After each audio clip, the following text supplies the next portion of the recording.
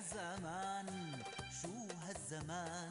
اللي خلى الحلو يقلب لفان. آه يا زمان شو هالزمان؟ اللي خلى الحلو يقلب لفان.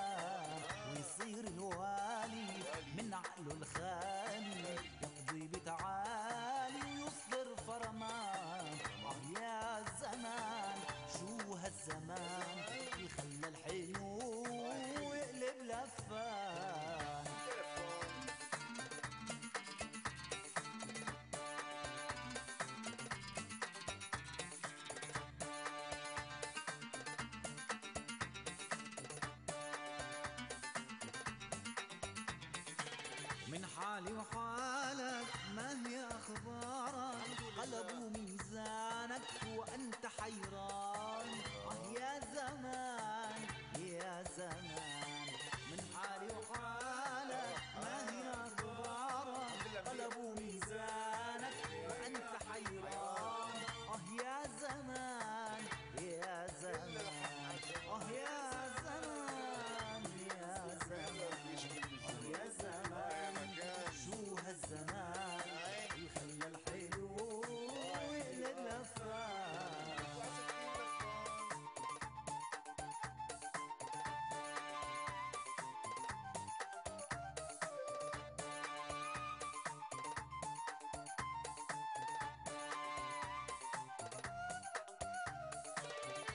جوعان يصبح شبعان. بكرة جوعان يصبح شبعان. ولا ما تعدل كف الميزان. بكرة جوعان يصبح شبعان. بكرة جوعان يصبح شبعان. ولا ما تعدل كف الميزان. يا زمان شو هالزمان؟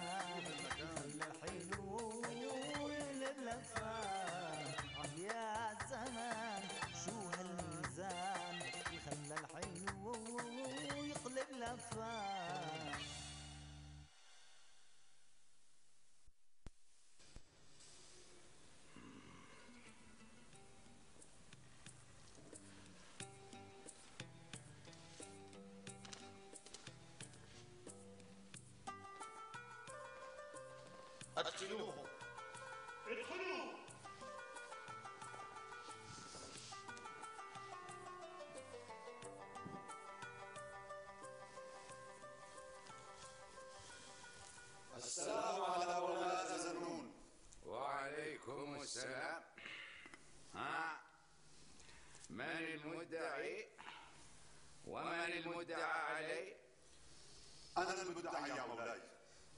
الشاري والمغشوش وأنا المدعى علي يا مولاي فأنا البائع بما يرضي الله ولست بغشاش أبدا. حسنا. فليتحدث المدعي أولا. أنا بائع حبوب. رجل فقير وبسيط وعلى باب الله. أدخل بالموضوع مباشرة. فالحق لا يعرف بل لا يفرق بين الغني والفقير. هيا. حسنا لقد اشتريت كيسا من الصوف لأخيط فراشا أنام عليه. بعد أن نمت على القش أكثر من كذا سنة. اشتريته من هذا البائع الغشاش. تجمل بقولك يا رجل. أمرك مولاي أودعت كيس الصوف كما هو على سطح منزلي الضيق. حتى أتفرغ في اليوم الثاني لعمل الفراش. إذن لا خلاف بينك وبين البائع في عملية الشراء. ها؟ ليس بعد يا مولاي حسنا. تابع. في صباح اليوم التالي أنزلت الكيس من على السطح وأفرغته فإذ بي أكتشف أن الصوف مشبع بالماء يا مولاي ماذا تريد أن تقول يا ما اسمك؟ عبد الله عبدون يا مولاي.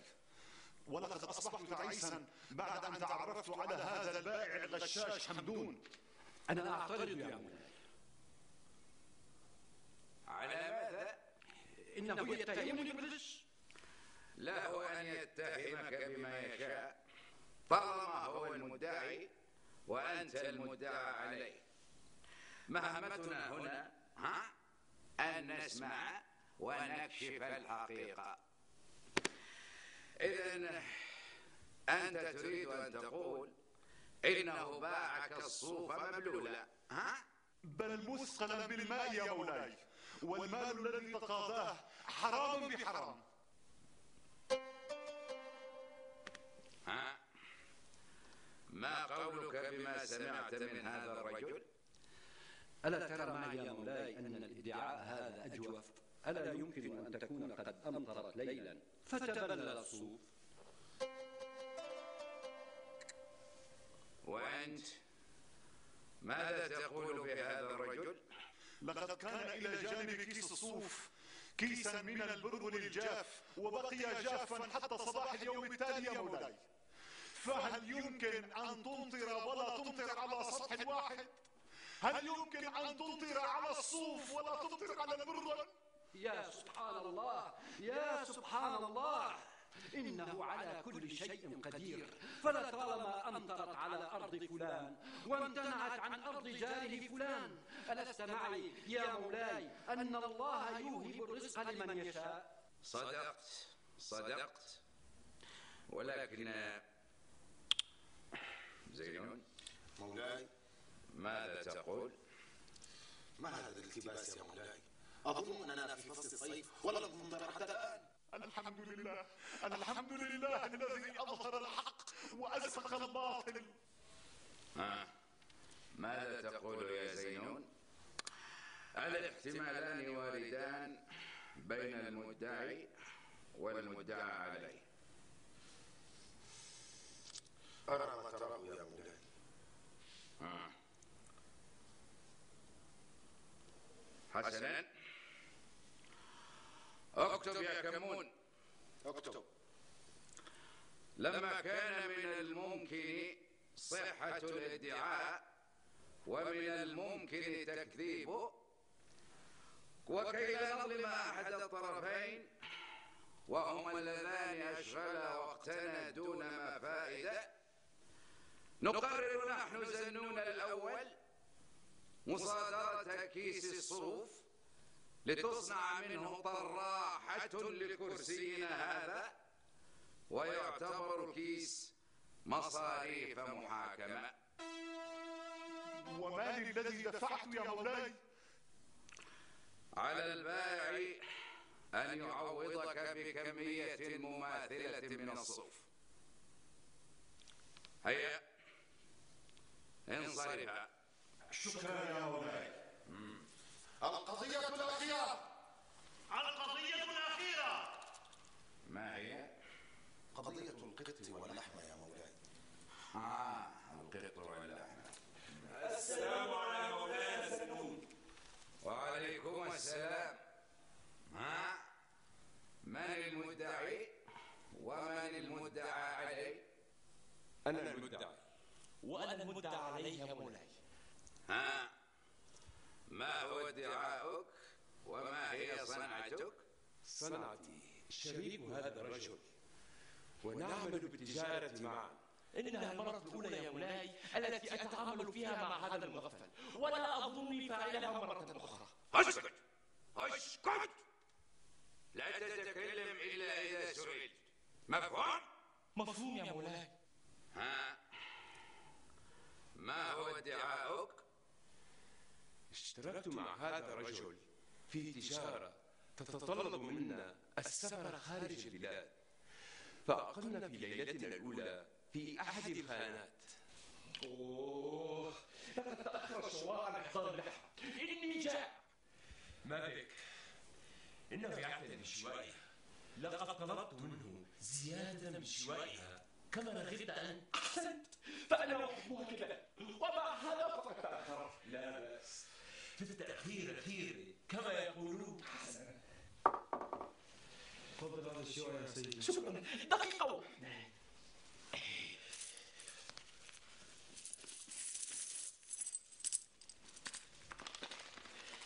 تفضل. شكرا يا سيدي. السلام عليكم. وعليكم السلام. أنا أقول لك ها هو قد حضر أخيرا. على بركة الله. وبسم الله هيا لكم. هيا تمهل لا خبز مع الشواء. ولكني جاع سنأكل من دون خبز؟ لا. هذا تبذير نحن في غربة أولا ثم في تجارة وعلينا الاقتصاد. وماذا تريدون أن نفعل؟ هل علينا أن نستنشق رائحة الشواء حتى ينزل علينا الخبز من السماء؟ لا. بل أنا سأحضر لك الخبز. وما عليك إلا أن تنتظرني حسنا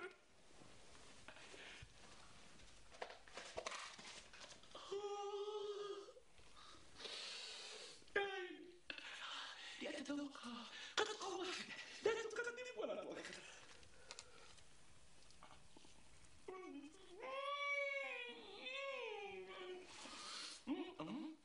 لتكن قطعة ها؟ أنا مطيع ثلاث قطع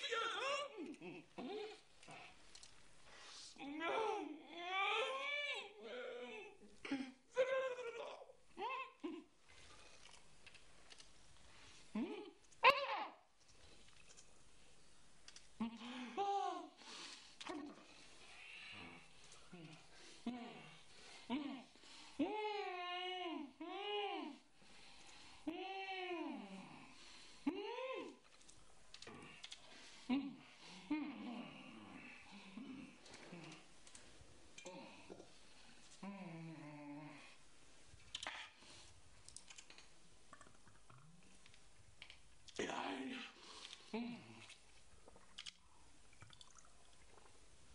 يا ويلي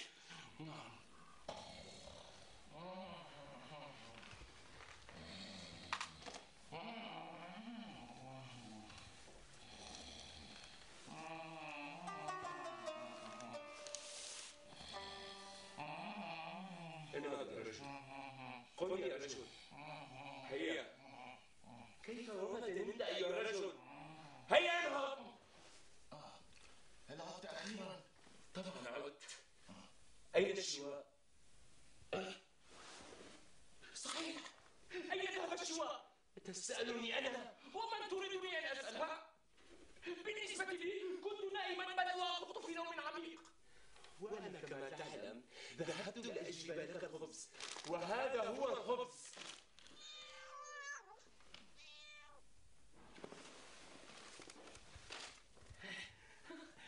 إنه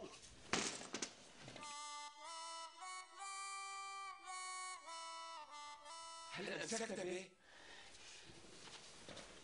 لقد ولكني سأمسك به. عندما تمسك به سيكون شاهدي. بل شاهدي أنا؟ لا بل شاهدي أنا. حسنا. ها. هل ما ذكره شريكك صحيح يا هذا؟ صحيح يا مولاي. هل ما زلت مصرا على أن القط هو الذي أكل الشواء؟ بالطبع يا مولاي هل من أحد يصدق يا مولاي أن هذا القط البائس الذي لا يزيد وزنه عن نصف وزنة يأكل وزنتي الشواء مولاي إن هذا القط بدون طعام منذ أيام لقد وضع هذا القط في هذا الكيس كي يخلو لك ضعيفا يا مولاي كما ترى إنه محتار يا مولاي ها؟ ماذا تقول؟ هل فعلتها يا هذا؟ دعك من كلامه الملفق يا مولاي وانظر إلى بدنه هذا. ألا يعطيك الانطباع على أنه النهم الأكول الشره الفجع. إنه يا مولاي يأكل وزنتي لحم. وعشر وزنات من الحلوى. وفوقها عشرة من كفى الر... كفى كفى ها؟ ماذا تقول أنت قبل أن أصدر حكمي؟ هل ترى شريكي هذا يا مولاي؟ نعم أرى ماذا تريد أن تقول؟ هل تصدق يا مولاي بأن شريكي هذا أكل وهضم ما يقارب من عشرة آلاف درهم ذهبي وفوقه الأرباح؟ إنه كاذب يا مولاي. هل تريد أن تقول؟ نعم يا مولاي. لقد بلع تجارتنا كاملة مع أرباحها قولا وفعلا. وهو بهذا الجسم الضئيل. فكيف لا تصدق يا مولاي بأن هذا القط أكل ما يعادل وزنه الشواء صدقت صدقت. إذا عليك أن تأكل القط ها؟ أو تعيد إليه ماله مولاي انتهى. هيا. انصرفا شكرا مولاي سيدنا المعظم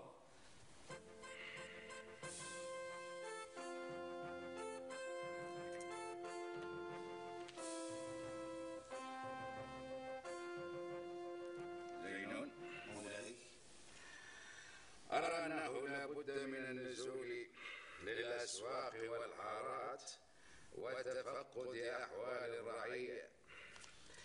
لقد تشعبت أمورهم كثيرا. أنا طوع أمرك يا مولاي. سأبدأ غدا بالنزول إلى السوق وآتيك بنتيجة طازجة. حسنا تفعل. زين نعم مولاي. راقب كل شيء عن قرب. اعتبرني عينك الساهرة. يا عيني يا زينون. ها؟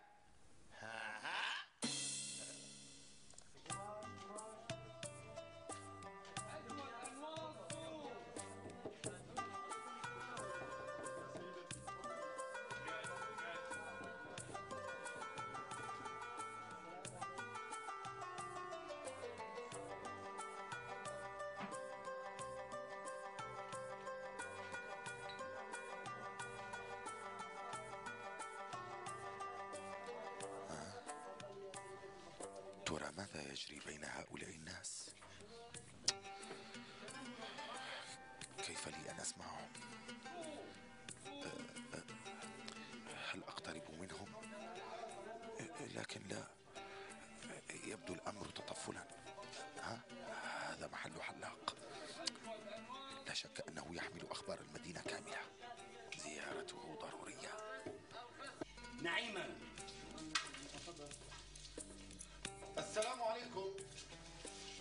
وعليكم السلام ورحمة الله وبركاته.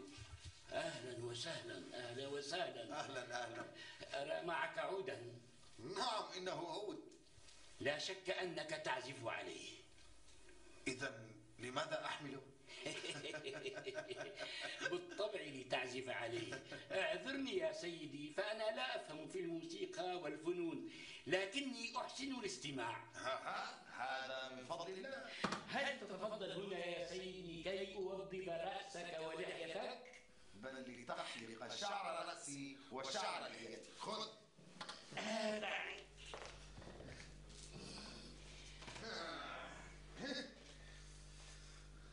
قل لي يا سيدي. تفضل. ألست غريبا عن هذا البلد؟ نعم. عرفت ذلك من لهجتك أولا. ومن عودي ثانيا. تماما يا سيدي تماما. هذا يعني أنا لا أحد في هذا البلد يعرف الموسيقى. هم قلة يا سيدي والكل يعرفهم. وكذلك الغناء. لا أظن أن أحدا يتقن الغناء مثلي ربما لكني لم أسمع صوتك بعد حتى أحكم يا سيدي. فإذا اسمع. بكت لولا من أجل فسقط وردا وعطت على العناب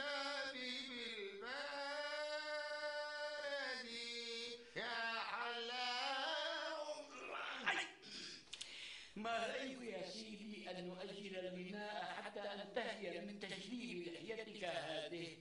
لك هذا. وسيرافق صوتي عزفي على العود. بهذه المناسبة ماذا ينادونك يا سيدي في بلادكم؟ ولم السؤال؟ حتى أفتخر بأنني كنت يوما بتشديد لحية المغني المشهور فلان من البلد الفلاني. ندى الصباح من خورستان الله الله ندى الصباح. نعم. من خورستان يا له من اسم ويا له من بلد مغني وموسيقي معروف ومشهور يا لها من مهنة. كم تبلغ من العمر يا ندى الصباح؟ ترى يا ترى ماذا يريد من وراء معرفة عمري ها؟ لا أظنك قد تجاوزت الثلاثين يا ندى الصباح. أليس كذلك؟ يا الله يا الله. كم أنت منافق ولكن علي أن أبدأ في استجوابه قبل أن أنهي علاقتي. ما بالك صامتا يا ندى الصباح؟ نعم نعم كما تقول. ولكن قل لي يا محسوبك مولود. مولود للحلاق يا سيدي. أنا طوع أمرك. فقط أطلب وتمنى يا سيدي. آه، ولكن هل حدثتني عن بلدكم هذا؟ ماذا تريد أن تعرف يا سيدي؟ كل شيء. كيف تأكلون؟ ماذا تشربون؟ أين تنامون؟ كيف تستيقظون؟ كل شيء. كل شيء. حدثني عن كل شيء. هكذا إذا جاسوس. أنه جاسوس يريد معرفة أسرار البلد وطبائع أهلها. وهل يحتاج منك الأمر إلى كل هذا التفكير؟ ها؟ لا أبدا أبدا. اسأل ما بدا لك يا سيدي سأجيبك. نعم. ماذا تشربون؟ نشرب الماء يا سيدي. وماذا تأكل تأكل تأكلون؟ أكلت شعري؟ أكلت شعري. ماذا فعلت يا حلاق البقر يا حلاق العاد سأقتلك يا سيدي السلام عليكم ترى ما الأمر هلا حدثتني يا سيد؟ هلا حدثتني يا مولود؟ لقد أكل شعري لقد شوهني. شوهني. نعم شوهني. سأقتلك هكذا. هذا سعيد ابن عمي وحمامي ومبشر تدبر أمره يا سعيد بسيطة بسيطة. هيا معي إلى الحمام حتى أنظفك وأتدبر كل الأخطاء التي حصلت. تدبر الأخطاء؟ نعم. سأذهب معك. هيا لا تنسى أن تعامله معاملتي أنه جنود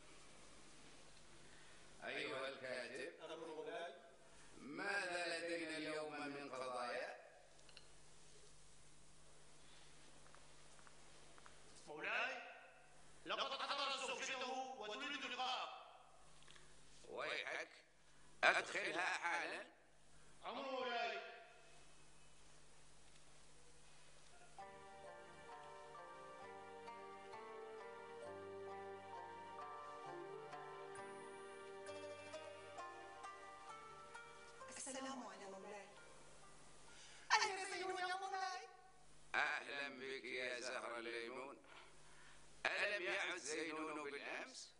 آه، أبدا يا مولاي. لابد أن أمرا قد أخر. ولكن اطمئني. أين سيذهب؟ ها؟ سيعود حتما. لقد رأيت حلما يا مولاي. أثار أشجاني ومخاوفي. وإني أخشى أن يكون قد أصابه مكروه. اذهبي إلى بيتك الآن ها؟ فإذا حضر أبلغيني أمر مولاي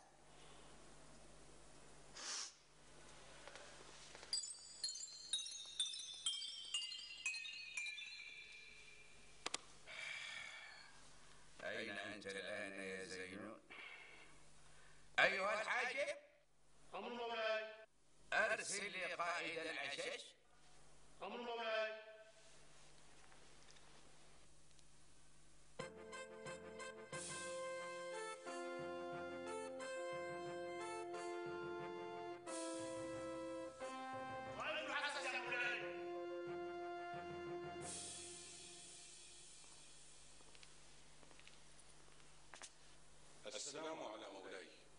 يا قائد العجز خذ بعض جنودك وابحثوا لي عن مستشار زينون. هيا. أمرك يا مولاي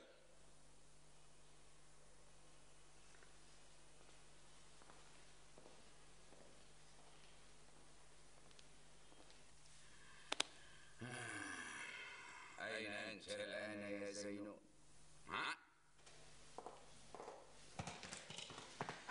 أهلا يا مولاتي تفضلي جئت أطمئن عليك آه يا مولاتي آه آه يا مولاتي أنا موجودة في الحياة ولكن زوجي آه زوجي أظنه قد فرق لا تكوني متشائمة أسبوع يا مولاتي أسبوع لا أحس لحظة زنون مزعوج جدا وقد استنفر العسس وأطلق المنادين في الحارات والأسواق يبحثون عن زوجك أعلم يا مولاتي ولكن كيف سيتعرفون علي إن كان قد غادر الدنيا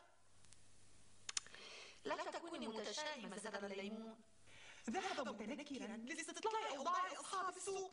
فابتلعوا السوق. ليس علينا إلا الصبر والانتظار. آه يا بعلي آه يا قرة عيني. آه آه. زهر الليمون. لا أدري ما الذي تحبينه فيه. لا صوت لا صورة. مولاتي إنه حب الأول والأخير. صدق من قال كل فولة مسوسة لها كيال أعور زينون فولي أجل. هو فولة وأنت مصولة آه أين أنت يا زينون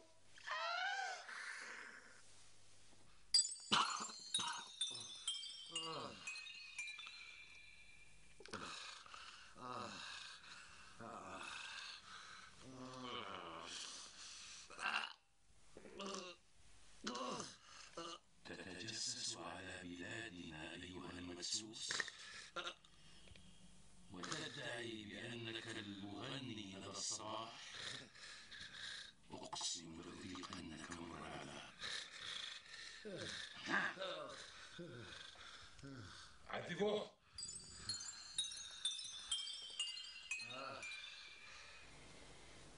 قضية اليوم يا مولاي ألا ترى أني حزين لأجل مستشاري؟ ها؟ لا أريد أن أنظر في قضايا الناس القضية مهمة يا مولاي وتتعلق بأمن الولاية وبسلامتك يا الوالي زينون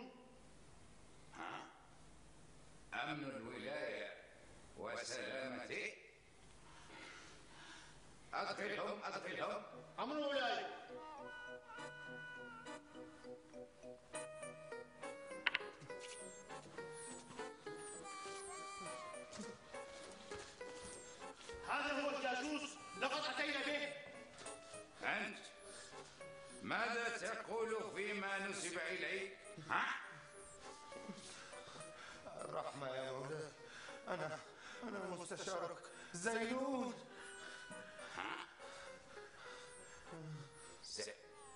زينون ها؟ من الذي فعل بكم ذلك يا مستشاري؟ العسس يا مولاي ضربوني وعذبوني. حتى اعترفت لهم بما يريدون. أنا على الورق يا مولاي. جاسوس ورئيس عصابة لقتلكم يا مولاي. تعال يا زينون تعال. تعال اجلس وحدثني من أنا؟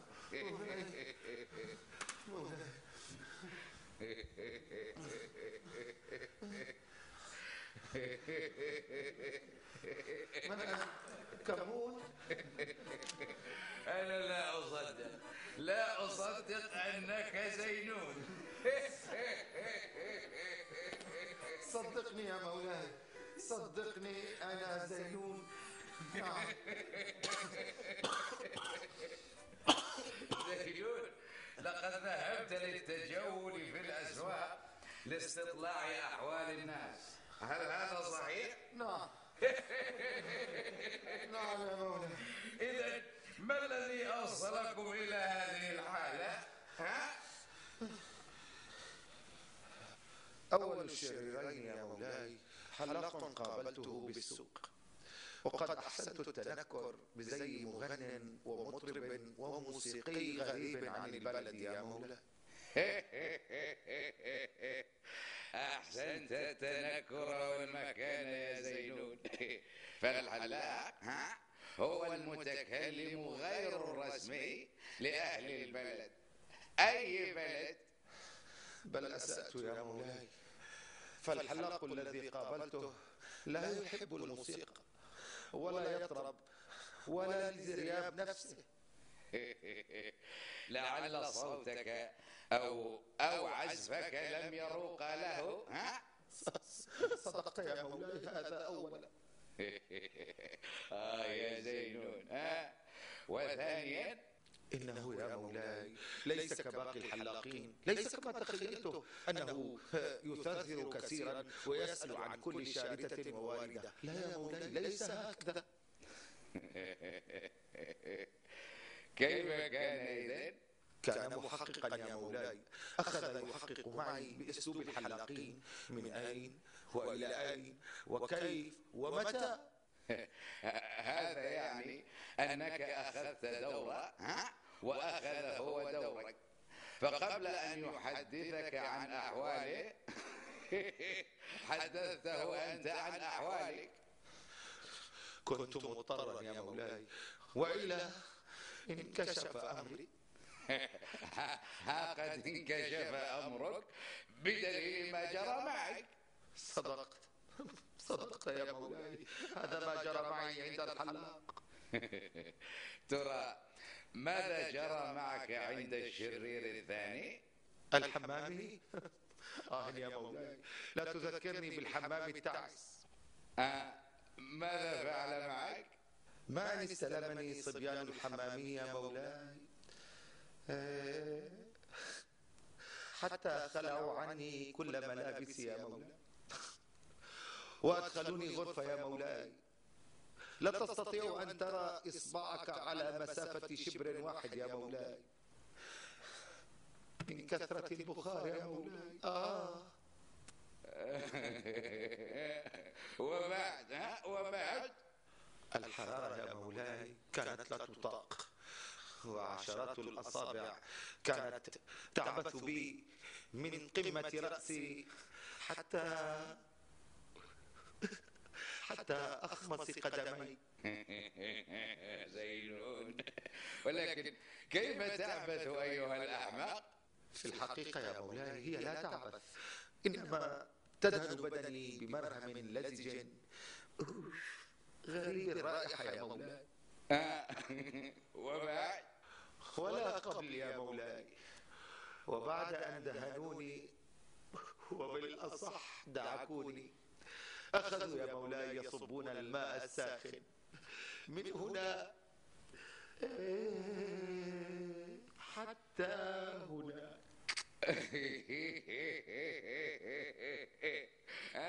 وبعد يا زينون. وها أنت ترى النتيجة يا مولاي. وفورا ودون ما إبطاء قام بتسليمي لرئيس العسس. وتلك حكاية أخرى يا مولاي.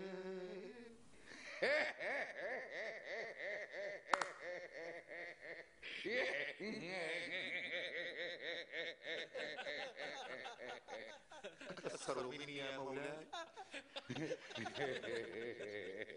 حكايتك يا زينون ها؟ يجب أن تروى وتسجل. أدخلوني السجن يا مولاي وجردوني من ملابسي. فأنا بنظرهم يا مولاي جاسوس وخائن جاسوس وخائن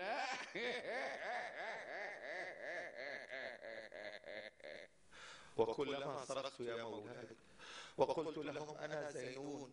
مستشار مولاي زنون. زادوا في ضربي يا مولاي زادوا في ضربي. من يصدق رجلا على شاكلتي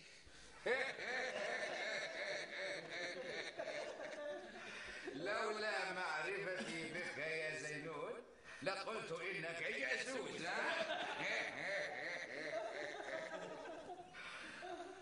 خذوا مستشارنا زينون. يرتاح وتطمئن عليه زوجته ها؟ وأرسلوا من يصلح له حاله ليأتينا غدا سليما معافى. هيا انهض يا زينون؟ والله يا مولاي لا أستطيع أن أتحرك. أحس أنني سأموت. شمشون خذ زينون. أمر مولاي ها؟ يا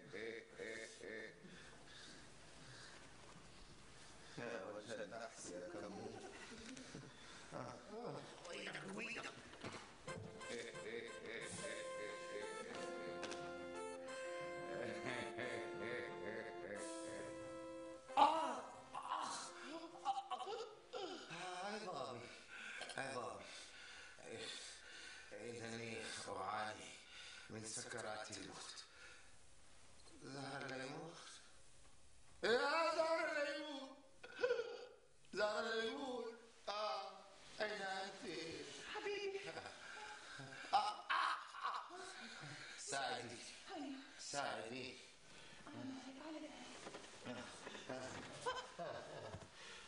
آه أريد أن أذهب إلى فراشي. هيا حبيبي. آه. هيا لا احمليني. ماذا؟ احمليني حاضر.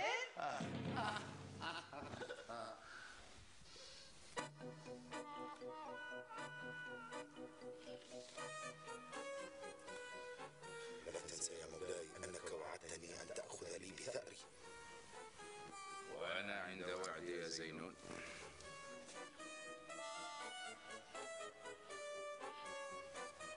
زينون هيبتنا من أنت؟ خادمك وحلاقك يا مولاي. أنسيت وأنت؟ سعد. سعد بن أسعد. حماني يا مولاي. هل تعرفان هذا الرجل؟ الآن عرفنا يا مولاي. نعم. نعم يا مولاي. الآن فقط عرفناه. ومن لا يعرفك؟ يجهلك يا مولاي مم. وإذا كنت تجهله تفعل به ما تفعل؟ ها؟ مولاي مولاي أرجوك مولاي تكلم أو أنادي السياف؟ في الحقيقة يا مولاي لما جاءني سيدي المستشار زينون إلى الدكان لم يكن المستشار زينون الواقف هنا نعم نعم. صدق والله مولود لم يكن هو هو هو, هو. كما راه الآن ماذا تريد أن تقول أنت وهو؟ ها؟ لقد جاءني يا مولاي سيدي زينون المستشار إلى الدكان بهيئة غريبة وشكل مريب حتى ظننته أعجميا أو تكلم. تكلم أو أنادي السياف اختصر سأختصر يا سيدي سأختصر قل تكلم ولما سألته عن اسمه يا مولاي قال أن اسمه ندى الصباح أي نعم ندى الصباح وكما ترى يا سيدي ندى الصباح اسم أنثى ها؟ وماذا في الأمر؟ ها؟ كثيرون من يتسمون بصباح. ولكن يا مولاي ندى ندى الصباح يا مولاي؟ ها؟ وبعد. ثم بدأ يتحدث ويتحدث ويسأل ويكثر من السؤال. حتى إنني أنا الحلاق. كثير الكلام. لم أجد فرصة لكثرة كلامه أن أقول شيئا يا مولاي. وهل هذا سبب كاف لتفعل به ما فعلت؟ لقد اعتقدت يا مولاي لغرابة شكله وكثرة سؤاله أنه جاسوس يستطلع أمور البلد. وخاصة يا مولاي وهو لا يتقن الغناء ولا حتى العزف على العود بالإضافة إلى أنه متصاب يا مولاي. هيبتنا يا زينون هيبتنا. ولقد اكتشفت يا مولاي أنه متنكر بزي مغن أو عازف. لذلك قررنا قررتما تسليمه للعشش. وحين أتاني على هذه الحالة لم أعرفه يا مولاي وبالتحقيق معه اعترف بكل ما نسب إليه.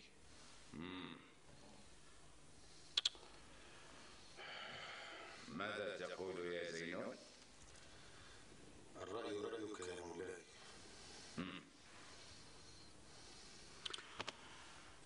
لقد عفونا عن الحلاق والحمامي. وأمرنا لهما بمكافأة لحرصهما على سلامة الوطن وصدق نيتهما. شكرا جزيلا يا مولاي أما أنت يا قائد العشش يجب أن تدفع مئة دينار ذهبا عقوبة لك. ولكن لماذا يا مولاي؟ لماذا؟ لأنك استخدمت الصوت بدلا من استخدام العقل. هيا هيا. انصرفوا انصرفوا. شكرا يا مولاي شكرا يا مولاي.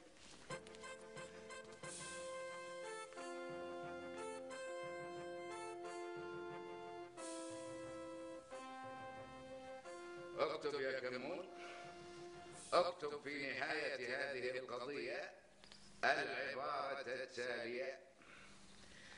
من ادعى شأن غيره لاقى بما ادعى كريه أمره. هكذا كان اتفاقنا يا مولاي آه. زينون إنها مائة دينار ذهبا. جميلة. أمري لله يا مولاي ثلاثون لك وسبعون لي. ها؟ ها ها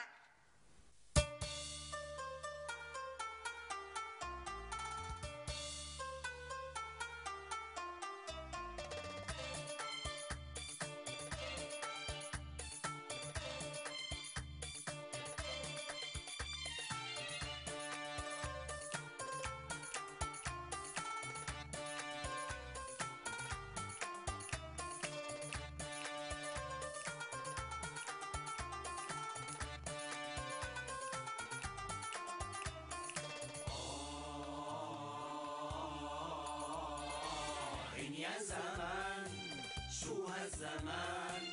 خلى الحلو